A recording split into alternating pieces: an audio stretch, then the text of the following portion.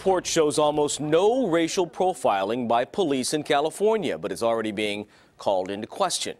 It produced numbers so low, the board overseeing the numbers wants law enforcement agencies to encourage people to come forward. And critics argue it also paints a picture of law enforcement protecting their own and not addressing the big problem. CBS 13's Rob Malcolm joins us live with a closer look at this report. Rob?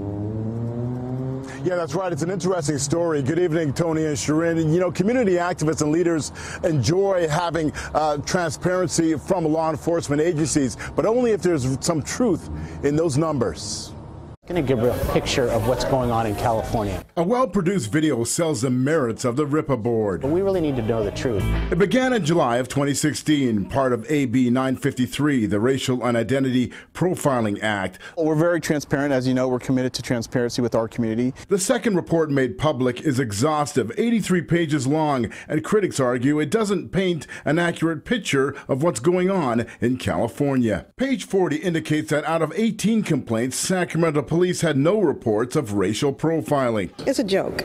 It's an absolute joke. How can you not have racial profiling in 2017? At Monday's Sacramento Community Police Review Commission meeting, Deputy Chief Ken Bernard says internal affairs complaints were miscategorized. Because we didn't include our informal inquiries that's why our numbers are so low. We just we just included what's standardized and which is our formal complaints. The report also indicates the Sacramento County Sheriff's Department received 325 complaints with 10 reports of racial profiling. The Sheriff's Department is double the size, and activists say there's still a big problem. We haven't yet had the kind of proof to let us know that we can really trust the data and the process, and I have a lot of questions. In California, 17% of law enforcement agencies registered not one single complaint in 2017.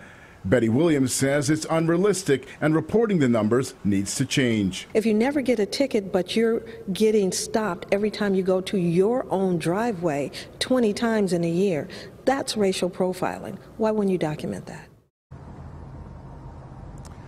Now, the RIPA report will be on the agenda for the next police board services meeting here at City Hall. We saw a handful of protesters tonight, and they plan to return as they flesh out those numbers.